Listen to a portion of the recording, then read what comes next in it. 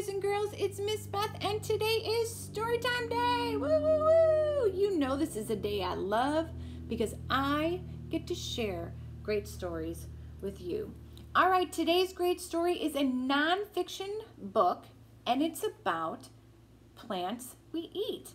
And it's called Plants Feed Me by Lizzie Rockwell. And the publisher is Holiday House, New York. So, Plants Feed Me. This is an interesting book. I was reading it earlier and I thought, ooh, this would be a really good one to share with my favorite kids out there. All right, Plants Feed Me. Let's learn a little something about what we eat. I am a plant eater. I'm a plant eater too. Maybe you're a plant eater. I'm thinking you might be.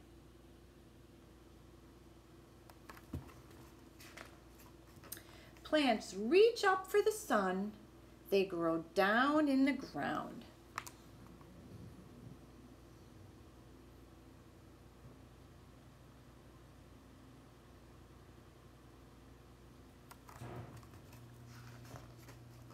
I eat different parts from different plants. Sometimes I eat the leaves, like on Swiss chard, lettuce, cabbage, and spinach. That's where you eat the leaves.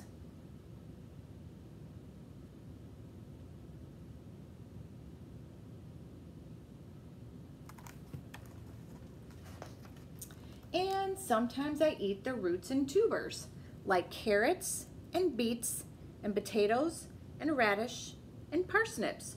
Roots get water and food from earth. I eat the bulbs, I eat the stems and flowers too. So when you eat the bulbs, you eat the bulb of an onion and some of the of the leaves of an onion sometimes. And for asparagus, you eat the flower buds, and for the broccoli, you eat the flowers.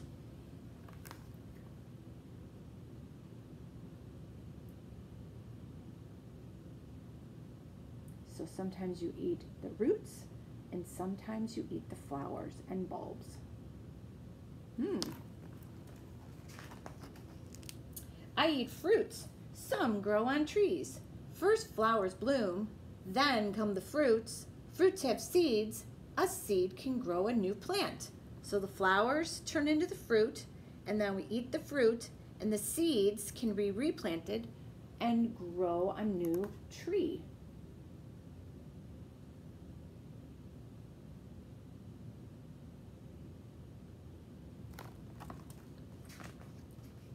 Blueberries are fruits. They grow on a bush.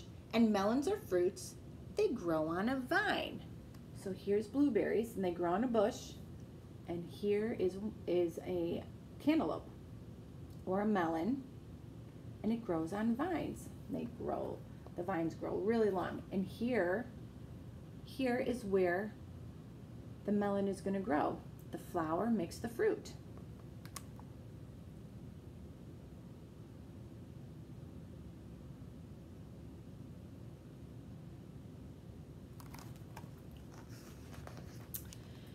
Fruits hang from the tomato plant. Pumpkins, peppers, and eggplants are fruits too.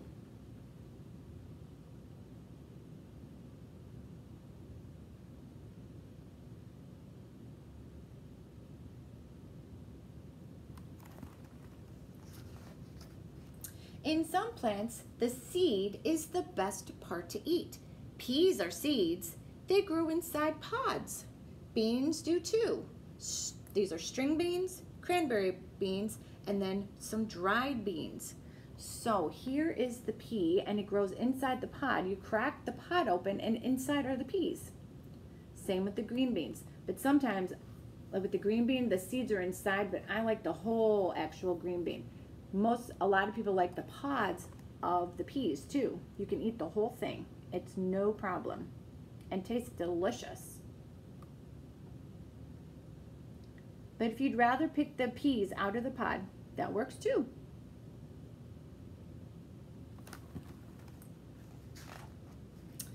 I eat seeds from rice plants. I eat seeds from wheat plants.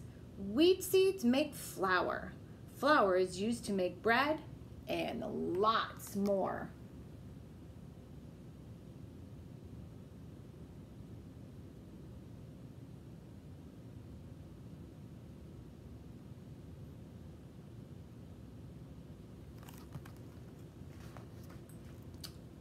Walnuts are seeds. They fall from tall trees. Here's the fruit. Then the fruit opens and a walnut is in its shell. You crack the shell open and then you find the walnut.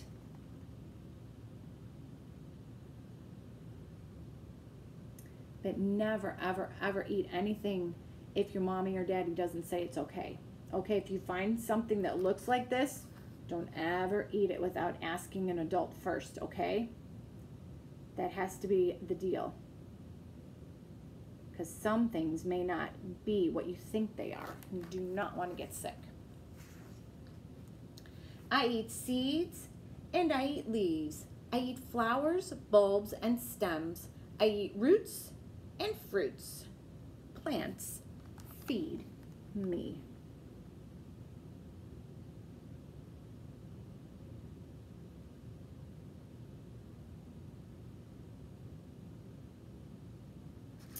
Oh, I liked that one.